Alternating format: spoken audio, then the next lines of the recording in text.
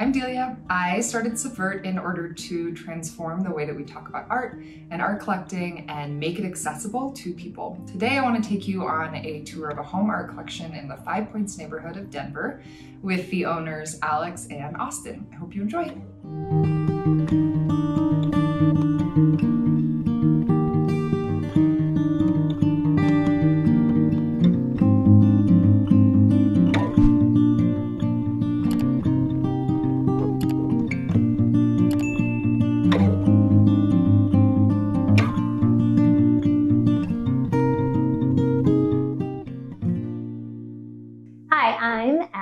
I'm one of Delia's customers.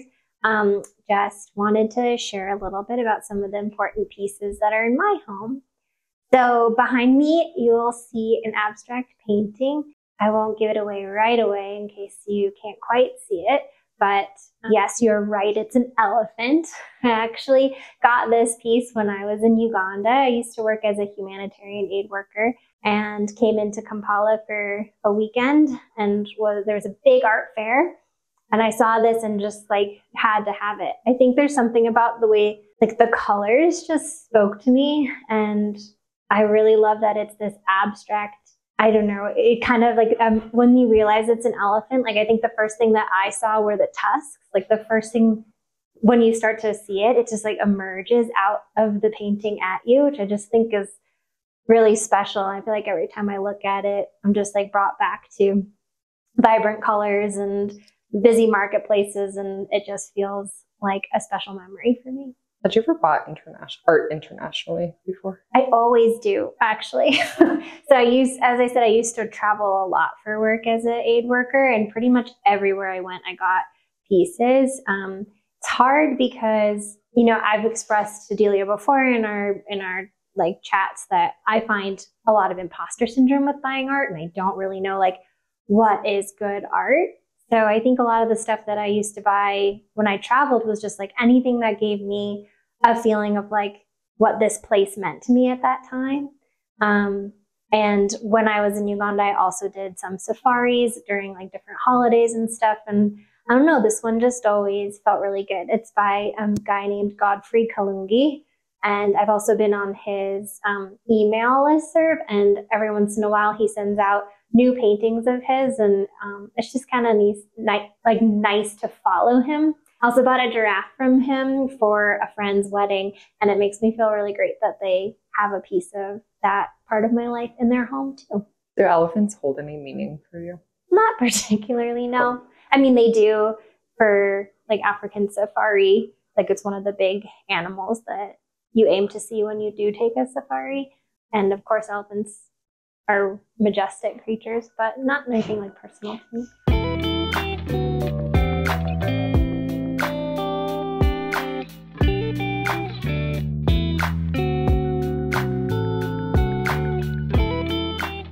the next piece I want to show you is actually uh, what are called Imigongo paintings um, from Rwanda. So uh, I was working in a refugee camp. Uh, is like South Sudanese refugees in Rwanda.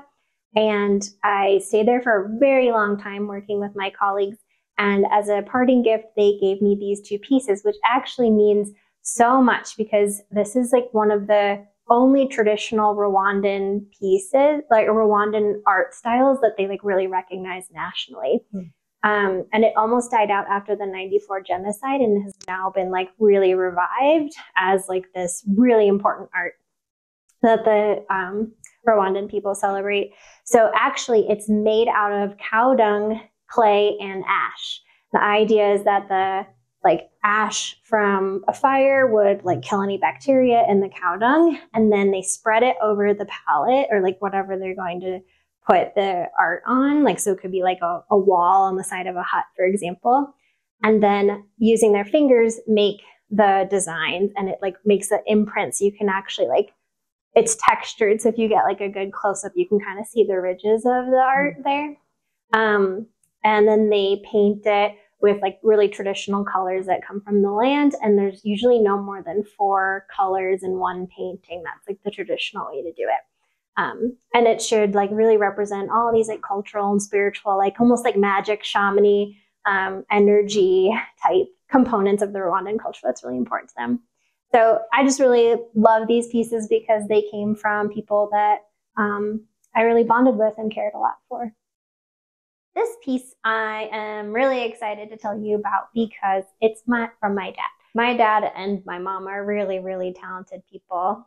But recently, my dad decided to take up painting, which he hadn't done before. He did other art, like um, some of the stained glass you can actually like see around the house.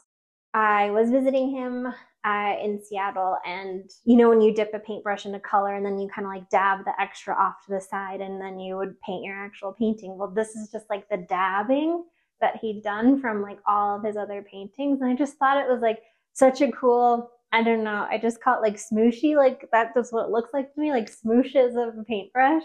Um, but it's kind of neat to like think of my dad sitting there for however many hours and like in his creative space and just like a little piece of all the paintings that he's made.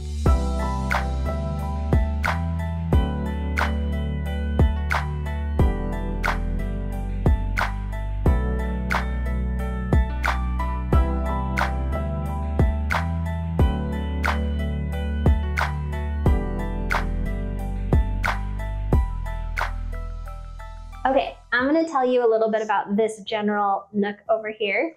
I'm going to start with the painting. This um, was found with the help of Delia and Subvert Art Consulting. Um, my husband and I have very different tastes in art, it turns out, and she helped us find a piece that we both really enjoyed. This is called Minerva.